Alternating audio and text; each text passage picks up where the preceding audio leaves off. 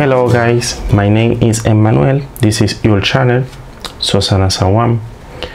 And now I will show you how you can use this digital multimeter for measure this resistance. The first step is very easy. You only need to move this in on position. And now you need to move this. This is a selector if you see this area has a line a green line if you see this line it means this area is only for resistance this area. And you will to move this inside this area for measure resistance. And you can put this in this position. This is 20 kilo ohms this. And now we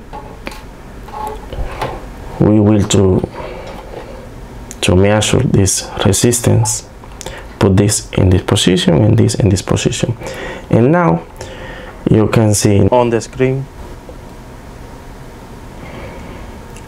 If you see 1.10 it means 1.10 kilo ohms it means you can move this and measure again. Now you can watch the complete number. We are watching 1111 or 12 if you see. More or less. But it means in ohms. 1112 ohms.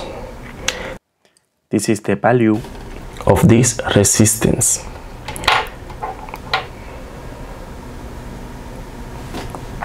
And this is all for today.